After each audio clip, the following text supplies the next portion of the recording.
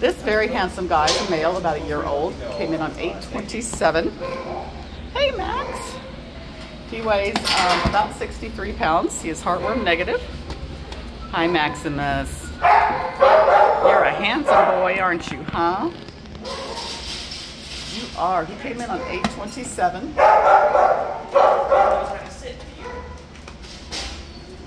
See you were straight. Yes, you were straight. Have that nice harness on, so I wasn't sure.